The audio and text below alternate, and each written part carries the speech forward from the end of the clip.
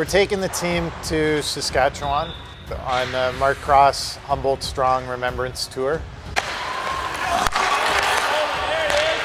We're pretty much spanning the entire province over, uh, we leave tonight on a Wednesday night, fly home Monday morning, play three games in four days, uh, make school appearances, run some, some clinics. We're there to honor everyone involved, uh, but specifically the 16 who passed away in the, the accident of April 6th.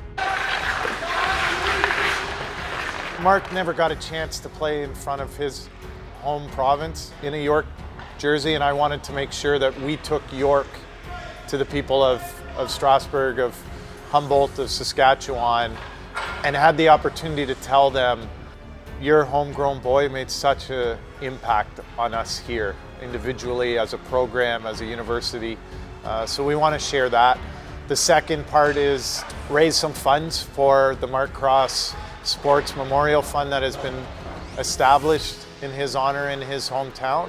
So the games in Lumsden, in Humboldt, the proceeds are going towards that charity. To be part of a trip that kind of goes somewhere where there's been a tragedy and you have to put on a face and be there for people who, who knew people very closely who they lost. So it's something that I'm going to grow as a person. Uh, it's an experience that I've never had before and it's something that as a group when we come back that we'll be able to look back on for the rest of the year and really the rest of our time as a program and relish in something that we did that was greater than ourselves.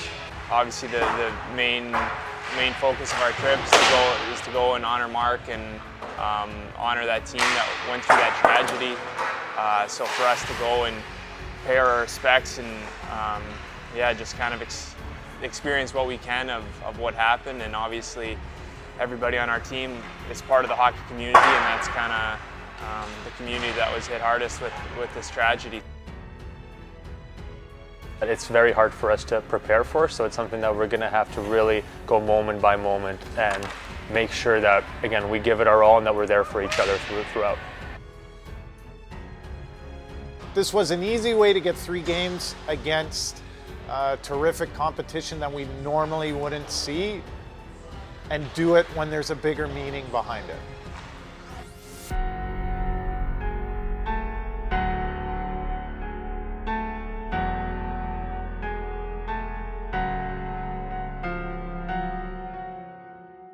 What happened on April 6th, there'll never be a closure. Um, we miss Mark every day. Can we help people and celebrate what Mark meant to everyone? yes, and I think that's, uh, for me, that's the most important part of this trip is to make sure that we celebrate who Mark was um, in the place that defined why Mark was that way, um, and also do it in the in the way that he no longer can, and that's to strap on the blades, put a York jersey over our heads, and uh, play the game that that he loved. I'm hoping that when I come back, I, I do, I do feel a little better about everything, um, because it has been, it has been tough.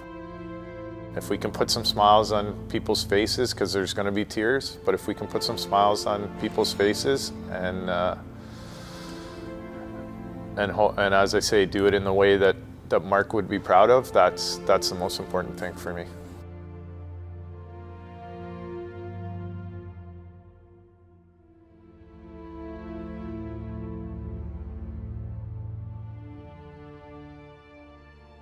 We now invite Mark Cross to come forward. Mark, who comes all the way from Strasbourg, Saskatchewan, has been with the Lions for five seasons. Here comes York the other way. Campbell in front as they score and they take the lead. It's Mark Cross.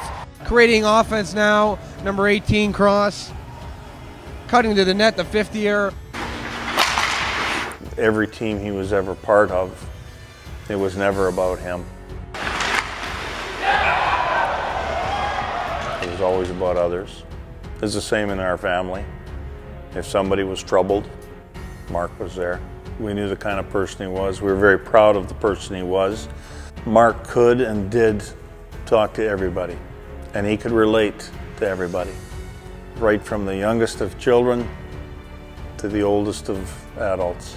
You always kind of look to him to see how he's acting in uh, uncomfortable situations or just you know, fun situations and everything, every aspect of life. He is a sculpture of what parents want their kids to grow up to be, is Mark Cross. He was just a great person and he made everybody around him better. And he's just the best friend and just really includes everyone and everything that uh, he does and just kind of shows everyone the way. He wasn't our most skilled player, but he was, he was the guy who was doing all the stuff that nobody wanted to do. The hard work, the blocking shots, he was the first guy to be in the gym, the last guy out of the gym. He was just such a special, special individual. His, his, his behavior, the way he treated people, um, the selflessness. Um, you know, he, he is now a part of uh, York University Athletics lore. He was extremely respectful. He was selfless. He did sacrifice. We preach a lot of the characteristics that he embodied character, respect, optimism, sacrifice, selflessness. That's what we hold our players uh, to as a standard in all aspects of life. He was incredibly proud of being a York Lion, and all those things have rubbed off not only on our program, but I think through varsity athletics as a whole. Everything we do is at the standard that Mark did it at, that Mark would want to see it done at. He had a, a summer job at Regina Beach, and, and so he would come back and spend summers with us. And uh, he was home for two weeks, and one evening, rather casually after supper, he says, oh, by the way, Dad, I, I got MVP for the team this year. And my response was, what? You've been home for two weeks and you're telling me this now? And yeah, well, no big deal, you know, and that's why, it, which is not surprising. That's just the way he was. He's very humble, very humble. Class. Brother. Selfless. Hero. Loving. A work ethic. The selflessness. Mark Cross did everything that ordinary people are supposed to do. And he did it at an extraordinary level. I'm sure there are people that think, well, how, how can anybody be all that? But as remarkable as it may seem, he was. Mark Cross was our hero because he did those ordinary things every day without fail. We're very proud of, of who he became.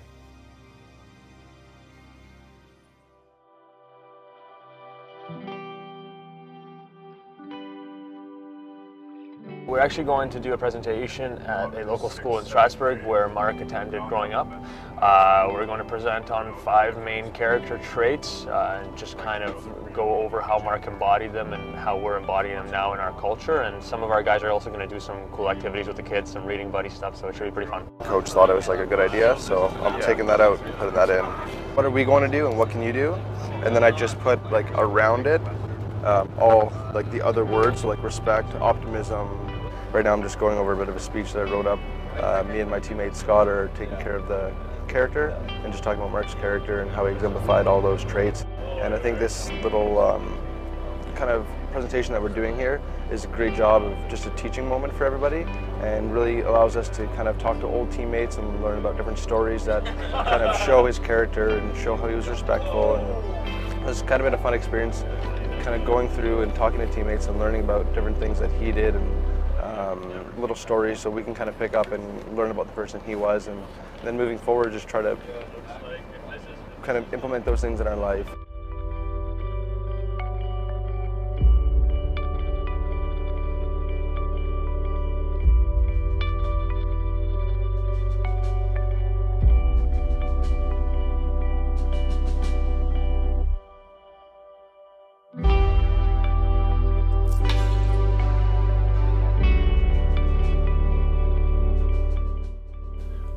Never had a player of mine be idolized the way Mark Cross was.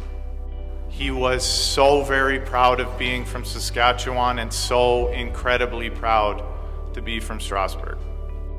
Mark left this area and came to York, and we wanted to come back and tell you how Mark had impacted our lives and how much he meant to us. As we explained to you how these five characteristics can help you in life and how Mark embodied those while he was part of our program.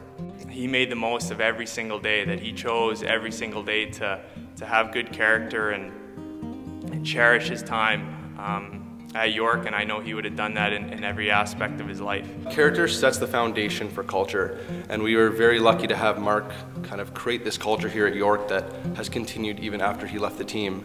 And it's important to stay true to yourself, uh, be the person you want to be and not the person maybe others are trying to force you to be. Respect means to demonstrate with high regard or special attention to something or someone.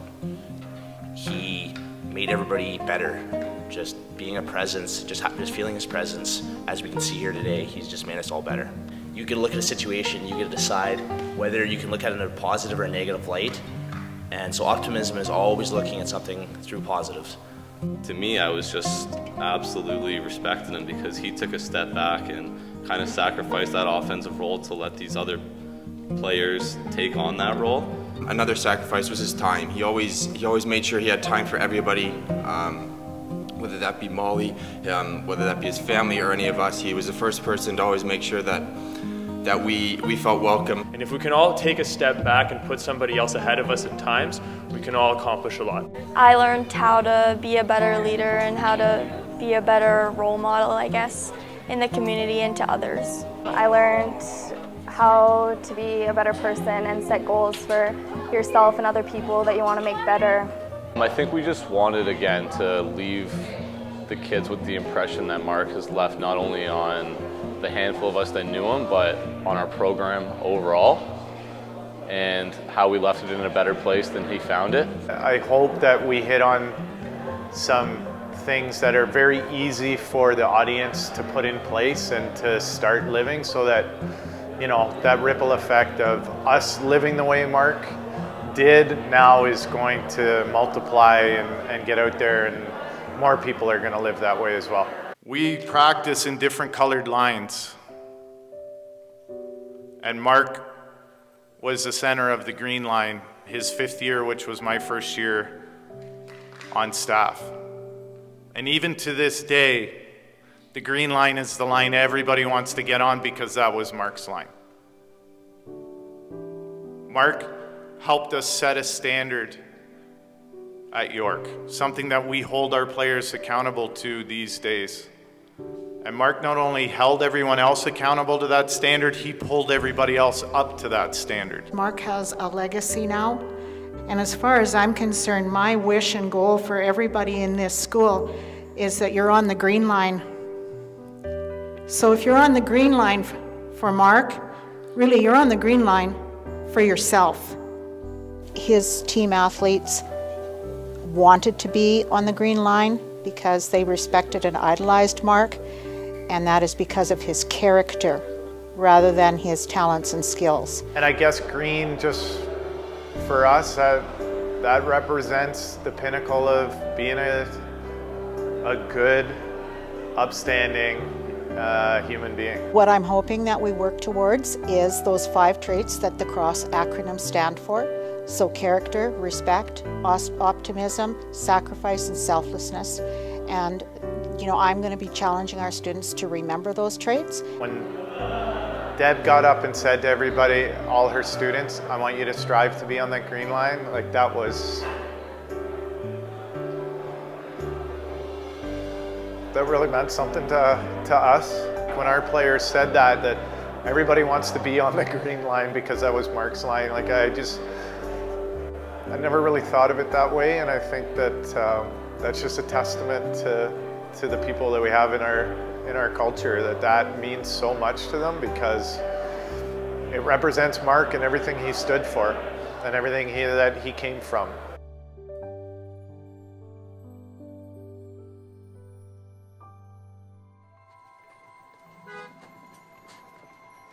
We do things with a purpose. You arrive with a purpose. It means the world to honor Mark tonight and the whole trip itself. And it just speaks volumes of how Mark was and what he was like to York University. He was the term heart of a lion. Eliminate time and space, get after them, force them into mistakes. Just being here honoring the 29 people and especially Mark Cross. And we have the MC18 right on our shirt here. and we have it on our jerseys too. And we'll be honoring Mark this whole trip and all the people involved in the accident, 29 people. We're energetic all night, positive. Feels amazing. Even though it's just a warm up, it means the most to me and being back on the ice in a game setting is gonna be awesome. And I just want to make sure the guys are all pumped and ready to go as well. Yep. Be relentless. All six men on the ice, all 200 feet of the ice. We're just going wave after wave. So get out there, do your work, get off, let somebody else do it.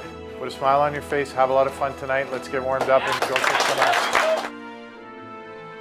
I think it's a very unique experience to even be able to lace up the skates and participate in warm-ups because not many people are able to do that in the first place.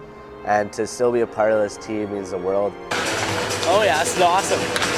Loving it out here, absolutely loving it. A little bit of a dream come true because I'm at that point, but I just can't play in a game yet. But at least I'm still on the ice and I'm with the guys, I'm having fun. Get out there. You're flying. Felt great. Absolutely loving it. I'm leaking right now, but this is awesome. Good experience for sure. You will see 18 seconds set up on the clock.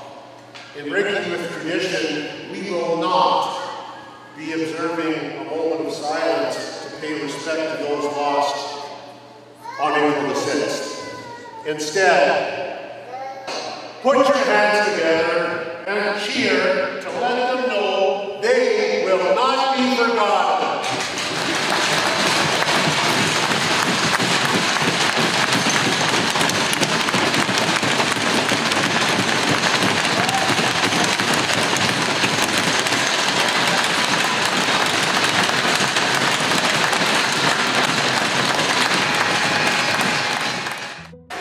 Stay inside the dodge.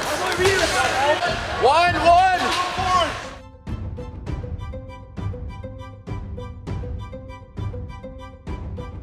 Yeah, get in there, get in there.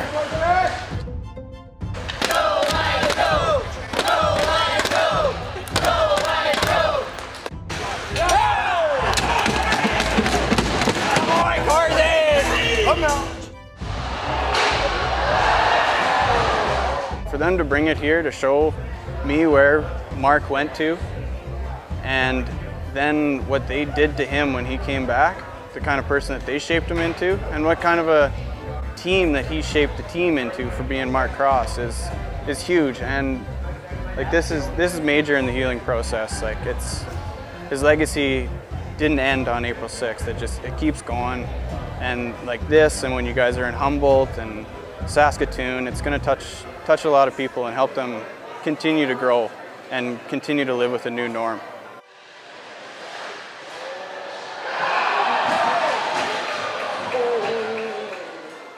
Few lapses and a few mistakes ended up costing us the result, but at the same time, this trip at the end of the day is not about getting results. We want to get them, it's uplifting to get them, but uh, it's about the camaraderie, it's about getting the togetherness, it's about clicking on the ice more so than anything. I don't think we're going to stop on this trip. There's uh, there's a lot going on, and um, if it's something like this that we can do for, for a few young kids, and um, it'll kind of make their make their year or uh, something that they can look back on and have some good memories. I think it's it's, the least that we can do.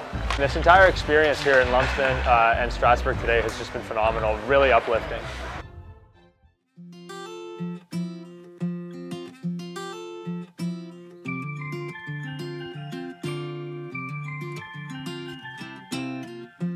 We're making the trek to Humboldt today.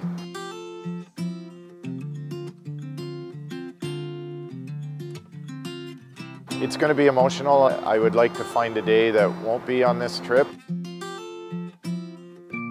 For us that knew Mark, I think yesterday um, probably would would be at least tied, if not maybe surpass that. But for the players that didn't, you know, I think they're going to have more of an emotional tie uh, today um, because we have a number of players, you know, on the bus that would have had friends that played with the Broncos last year and were involved in this accident. Some passed away, some survived.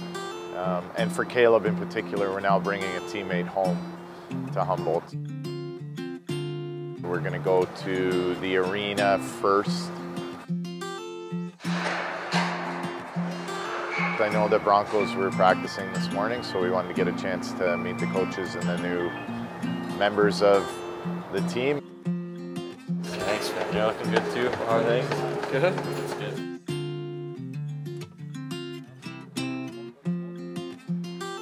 Played in Humboldt for a season and a half, 15, 16, and a bit of 16, 17. It's a super nice, welcoming town. I mean, all the guys are good people. Like, for me, it was the first place I went that I didn't know anyone, like a single person on the team, and all the guys and all the people in town were super nice and welcoming, so it made it easy to settle into. I uh, came in last year not knowing what to expect.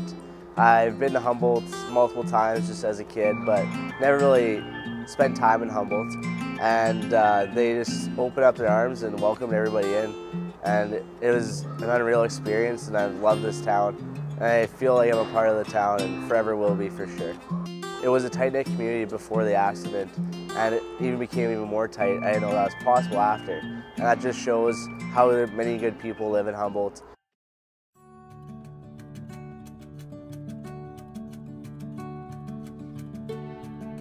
It was my goal ever since I was a little kid nine years old, I wanted to play hockey while going to university. Mark Cross couldn't say enough good things about him. And that was the ultimate compliment and the clincher for us. I know when he was talking to me about going to York, uh, he was saying how amazing it would be and how I'd fit right into the culture. So now I'm here and I want to do it and also honor those 16. And then by wearing number 16 this year and hopefully for years to come, it means so much to me. And there's just something about that that at least I have a piece of them with me every time I step on the ice. Yeah. And coming out back to Humboldt and finally skiing on the ice, there's gonna be lots of emotions for sure, and it'll be a great time.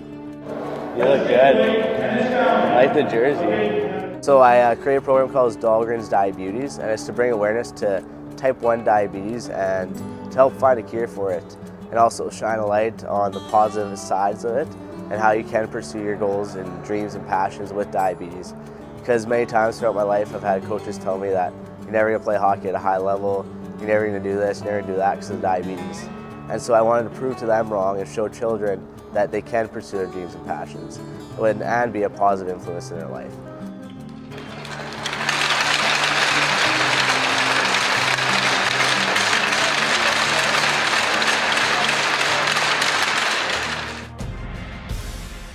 I wouldn't say I was surprised by the strength that they've shown. They were already strong, so it's um, yeah, just perfect to see. And I think the the way that Saskatchewan has kind of always been notorious for it was really has shown through, and it's been amazing. It's nice to see the kind of impact that he make, made. That it was a lasting impression, and that you know the the team that has some guys that knew him and some guys that didn't know him still thinking about him and talking about him and doing the things that he kind of instilled. It's it's awesome to see and it makes me feel good about the fact that maybe I was part of that as well.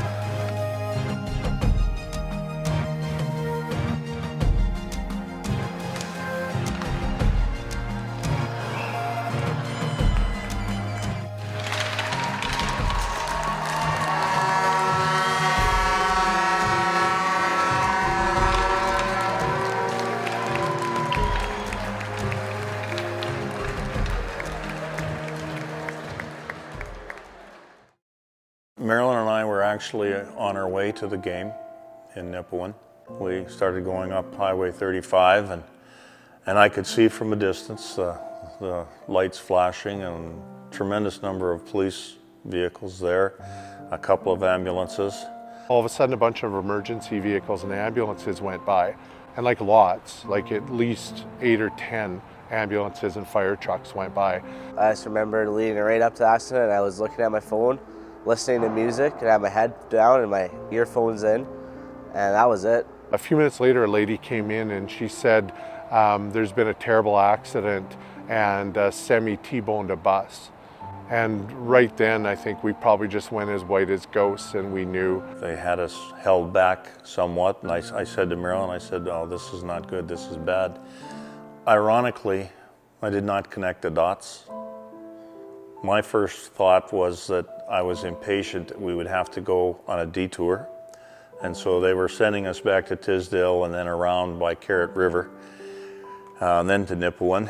And uh, we got about uh, halfway to Carrot River, and uh, Marilyn's youngest brother, Jeff, called us and said that the Broncos had been in, a, in an accident.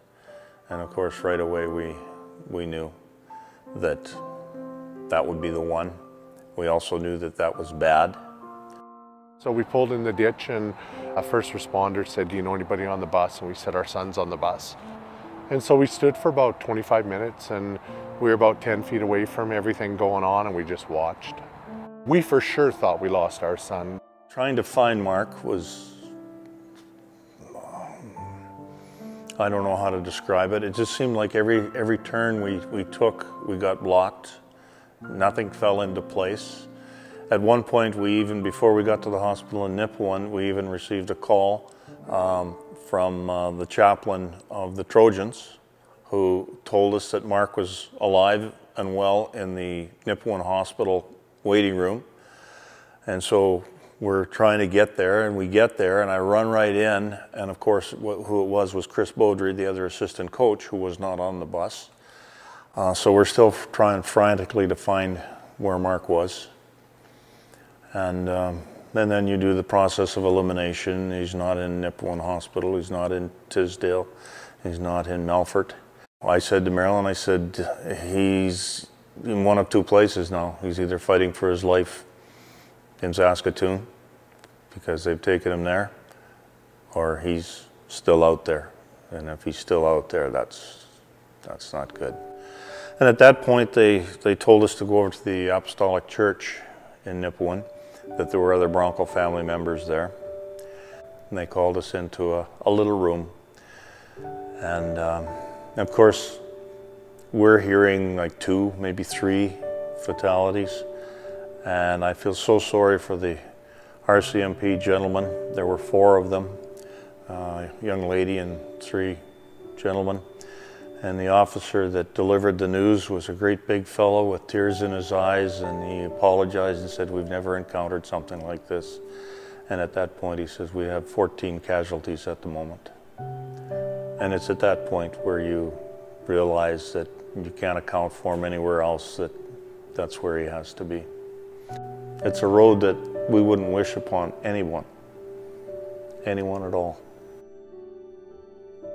And I remember waking up wondering why I was in the hospital and if our team won the game. Because I thought I got injured in the hockey game. It was about four and a half hours. We went to the church and we were there with the other families and we were waiting for word. And I think we were actually almost one of the first ones at the church to get word that uh, Caleb was alive. I sustained a fractured skull and a puncture wound, a third degree brain injury, two broken vertebrae in my neck, three others compressed in my neck, and then four broken vertebrae in my back as well. I lost 16 family members and I do consider them family. The worst day of my life and the best day of my life in four and a half hours. I want to continue being positive and seeing the brightness and everything. And yes, there's going to be hard days, but at least I'm here to experience those hard days, right? So there's always something to be positive about, and you always have to look at the positive sides.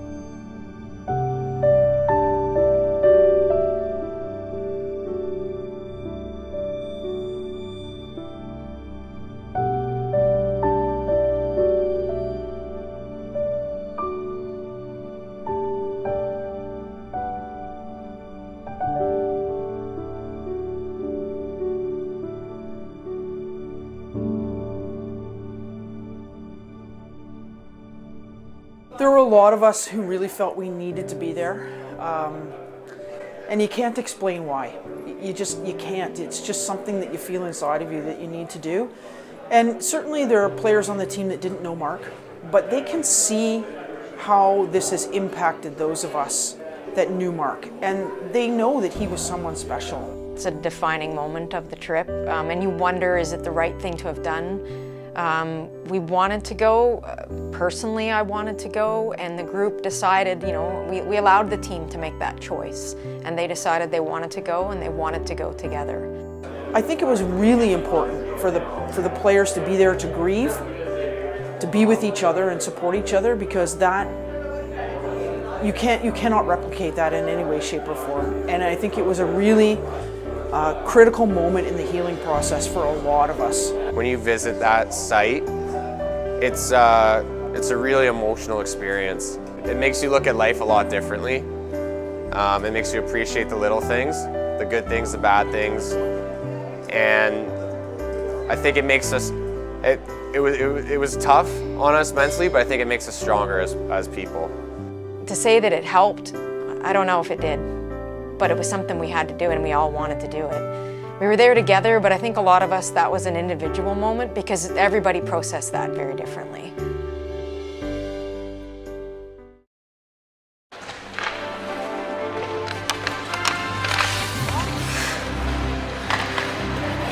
All right, so we're gonna take a couple strides. One. We're in Lumsden, Saskatchewan uh, putting on a skills clinic for, for the community youth. Compete drill, uh, some passing, skating, some edge work here.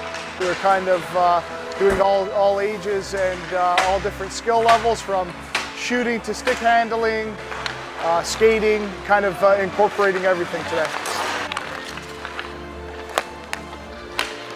The boys look up to, to our players. It's great to be able to get on the ice, have a little fun with them and then give back when we're that age and you know you always like have role models and stuff and it's nice to come here and give back you know we're on a trip remembering mark and honoring mark and it's very nice and uh, it makes you feel really good. I never met mark cross but uh, getting to play with his team was pretty cool. Nice atmosphere out there.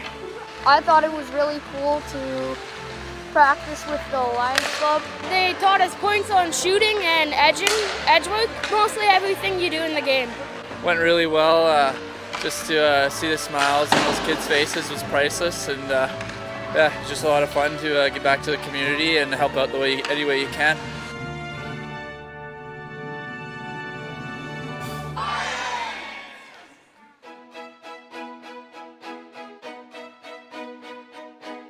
You want to consider yourself a true Canadian University hockey player and program you have to play in Rutherford at some point in time. And I'm not aware of York ever playing here uh, previously. It might have happened, but certainly in my time uh, in the league as a player and a coach, we hadn't. So this is uh, it's quite an honor to be the last men's uh, varsity hockey game in such a storied facility. Here we go, Red. Here we go, Red. Here we go, Red. Come on, boys. Come on here.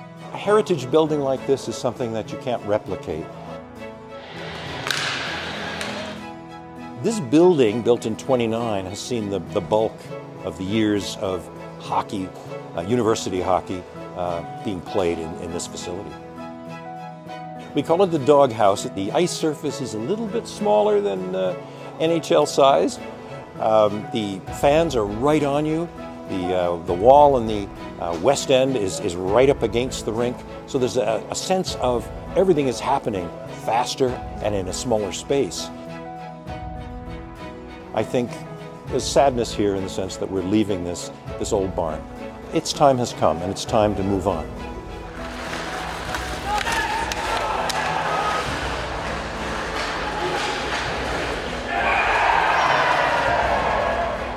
The message is, I guess, um, soak in the environment, enjoy it, see a part of small town Saskatchewan on our biggest university campus in the province. Um, the people will be, I think, very supportive of the game, and I think they'll enjoy it. It'll be an experience that I hope they will stay with them for years. So to close it out, that's that's a pretty cool uh, way to finish off um, what's been an emotional uh, journey for us here this week.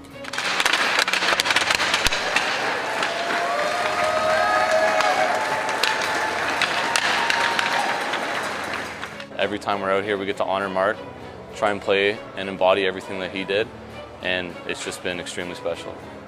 It's heartwarming to see this group do everything they did um, on behalf of Mark and on behalf of 15 others that, that died on April 6th.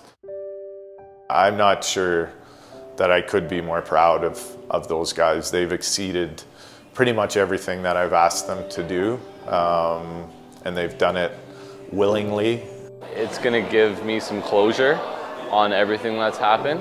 I get to experience, you know, something special and try and give back and honor, you know, everybody that's everybody that's passed away, and it's just really tough that, you know, I like, because I didn't know people, and it just so I get a lot out of this, and I get a get a lot of good things out of this. This is important to me to, to come out here um, to show respect to his his parents and uh, Molly, um, his uh, his girlfriend. So I think that's for me. It's just show respect that to those people. I was pretty close with Mark. I played three seasons with him, and then I was lucky enough to actually coach him in my first season as a coach. So just uh, just seeing what we were able to, to do for them, and uh, even for me personally, it was very nice to get out here and, and to pay respect and help raise some funds for his foundation. To see all of those crosses and all of the mementos and touching tributes to all of those people, it's I guess it helped a little bit on, on closure with Mark, maybe, for me, because it's one connection, really strong connection. But I really did ache for the people of Humboldt and the broader sorrow and grief that they're going through. Yeah, we can live and be like Mark Cross. We can continue to tell his story because that's the one story we can tell of the 16 stories that need to be told as a result of what happened on April 6th. Being able to come out here and have any piece of whether it be helping his family have closure and heal, to the communities that we visited and, and, and making them understand how important somebody from their community you know, has been and, and will continue to be. And, and again, keeping his memory alive is so crucial for us. It has been really emotional and really healing for us to come back, to be with Mark's family, to spend time, to see them and to tell them again how important he was to us and just how much we want to work hard at really making sure that we honor his memory in the most appropriate way we can.